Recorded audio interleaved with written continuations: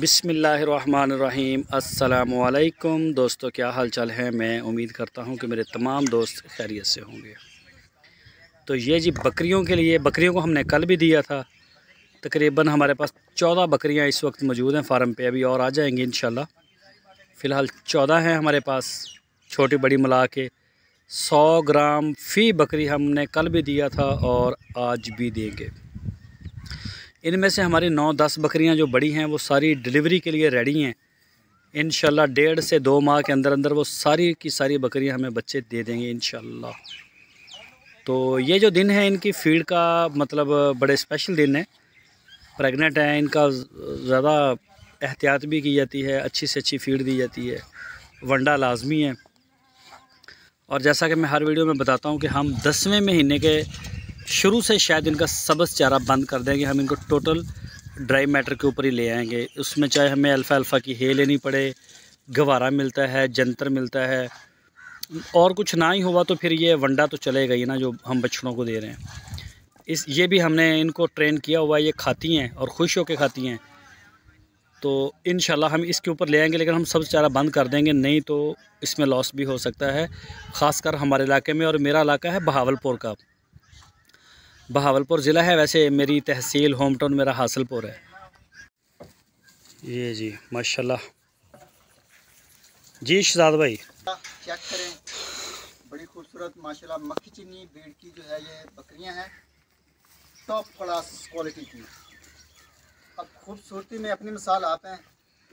ماشاءاللہ، اور یہ شوق کے طور پہ ہم نے رکھی ہوئی اپنے۔ یہ ناٹ فاسٹ سیل ہے۔ ان میں سے کوئی بھی جانور ہمارا فاصل کے لیے نہیں ہے، بلکہ آپ دیکھیں گے ان شاء اللہ تعالیٰ، دن با دن آپ ہمارے جو بکریوں کی تعداد میں اضافہ ہوگا۔ تو ہمیں کسی گاؤں کے گھر سے ملے، کسی کے ڈیرے سے ملے، منڈی میں بھی جاتے ہیں تو وزٹ کرتے ہیں بکریوں والی سائڈ پہ کہ کوئی اچھا اور بہترین قسم کی جو ہے وہ ہمیں مکھی چینی مدرسہ نسل کی جو ہے وہ بکری ملے تو ہم ماشاءاللہ وہ پرچیز کر لیتے ہیں۔ اکثر دوست جڑے نے، فون کرتے ہیں ਤੇ ਜਿਹੜੇ ਦੋਸਤ ਜੀ ਨੇ ਸਾਨੂੰ ਕਹਿੰਦੇ ਨੇ ਕਿ ਬੱਕਰੀਆਂ ਰਖਵਾਉਣਾ ਚਾਹੁੰਦੇ ਨੇ ਫਾਰਮ ਦੇ ਉੱਤੇ, ਭਲਾਈ ਵਾਸਤੇ, ਪਾਲਣ ਵਾਸਤੇ ਜਾਂ ਸ਼ੌਕ ਤੌਰ ਤੇ ਯਾਨੀ ਕਿ ਜਿਸ ਤਰ੍ਹਾਂ ਵੀ ਯਾਨੀ ਕਿ ਇਨਵੈਸਟਮੈਂਟ ਕਰਨਾ ਚਾਹੁੰਦੇ ਨੇ। ਲੇਕਿਨ ਅਗਰ ਅਸੀਂ ਬੱਕਰੀਆਂ ਜਿਹੜੀਆਂ ਪਲਾਈ ਤੇ ਰੱਖਦੇ ਆ ਨਾ, ਤੇ ਸਾਨੂੰ ਸਮਝ ਤੋਂ ਬਾਹਰ ਹੈ ਕਿ ਉਹ ਜਿਹੜੀ ਨਾ ਕਿ ਬੰਦਾ ਜਿਹੜਾ ਇਨਵੈਸਟਮੈਂਟ ਕਰ ਰਿਹਾ, ਉਹਦਾ ਯਾਨੀ ਕਿ ਬੱਕਰੀ ਬਹੁਤ ਮਹਿੰਗੀ ਤਿਆਰ ਹੋਏਗੀ, ਉਹਨੂੰ ਲਾਸ ਹੋਏਗਾ।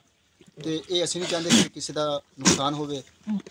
ਤੇ ਦੂਸਰੇ ਨੰਬਰ ਤੇ ਅਗਰ ਦੋਸਤ ਜਿਹੜੇ ਨੇ مشورہ ਦਿੰਦੇ ਨੇ ਕਿ ਬੱਚੇ ਜਿਹੜੇ ਹੋਣਗੇ ਉਹ ਅਧੋ ਅਧ ਕਿਤੇ ਜਾਣਗੇ ਕਿ ਇੱਕ ਮਿਸਾਲ ਹੈ ਕਿ ਬੱਕਰੀ ਅਗਰ ਚਾਰ ਬੱਚੇ ਦਿੰਦੀ ਹੈ ਸਾਲ ਵਿੱਚ ਤੇ ਦੋ ਜਿਹੜੇ ਨੇ ਉਹ ਸਾਡੇ ਹੋ ਜਾਣਗੇ ਤੇ ਦੋ ਬੱਚੇ ਜਿਹੜੇ ਨੇ ਉਹ ਜਿਹੜੇ ਇਨਵੈਸਟਮੈਂਟ ਜਿਹੜਾ ਬੰਦਾ ਕਰ ਰਿਹਾ ਉਹਦੇ ਹੋ ਜਾਣਗੇ ਮਾਲਕ ਲੈ ਜਾਏਗਾ ਮਾਲਕ ਲੈ ਜਾਏਗਾ ਦੋ ਜਿਹੜੇ ਬੱਚੇ ਨੇ ਇਨਵੈਸਟਮੈਂਟ ਜਿਹੜਾ ਬੰਦਾ ਕਰ ਰਿਹਾ ਉਹਨੂੰ ਚਲੇ ਗਿਆ ਜਿਹੜੇ ਦੋ ਸਾਨੂੰ ਬੱਚੇ ਨੇ ਉਹ ਜਿਹੜਾ ਬੱਕਰੀਆਂ ਦੇ ਪਾਲਣ ਦੇ ਉੱਪਰ ਖਰਚਾ ਆ ਗਿਆ ਉਹਦੇ ਵਿੱਚ ਨਿਕਲ ਜਾਂਦੇ ਨੇ ਤੇ ਸਾਨੂੰ ਕੁਝ ਨਹੀਂ ਬਚਦਾ ਪਿੱਛੇ ਤੇ ਇਸ ਵਜ੍ਹਾ ਤੋਂ ਨਾ ਇਸ ਤੋਂ ਹਟ ਕੇ ਕੋਈ ਅਗਰ ਕੋਈ مشورہ ਕਿਸੇ ਦੋਸਤ ਕੋਲੇ ਹੈ ਵੀ ਬੱਕਰੀਆਂ ਦਾ ਅਗਰ ਕੋਈ ਦੋਸਤ ਇਨਵੈਸਟਮੈਂਟ ਕਰਨਾ ਚਾਹੁੰਦਾ ਰਖਵਾਉਣਾ ਚਾਹੁੰਦਾ ਸਾਡੇ ਕੋਲੇ ਤੇ ਉਹ ਕਿਸ ਤਰ੍ਹਾਂ ਸਾਡੇ ਨਾਲ ਚੱਲੇਗਾ ਯਾਨੀ ਕਿ ਸਾਨੂੰ ਕਿਸ ਤਰ੍ਹਾਂ ਸਾਨੂੰ ਵੀ ਬਚੇ ਕੁਝ ਤੇ ਜਿਹੜਾ ਬੰਦਾ ਇਨਵੈਸਟਮੈਂਟ ਕਰ ਰਿਹਾ ਉਹਨੂੰ ਵੀ ਕੁਝ ਬਚੇ ਬਾਕੀ ਹੁਣ ਮਗਰਬ ਦੀ ਅਜ਼ਾਨ ਹੋ ਰਹੀ ਹੈ ਤੇ ਨਮਾਜ਼ ਦਾ ਟਾਈਮ ਹੈ ਤੇ ਇਜਾਜ਼ਤ ਦਿਓ ਇਨਸ਼ਾਅੱਲਾ ਤਾਲਾ ਸਵੇਰ ਮਿਲਾਂਗੇ ਇੱਕ ਨਵੀਂ ਵੀਡੀਓ ਵਿੱਚ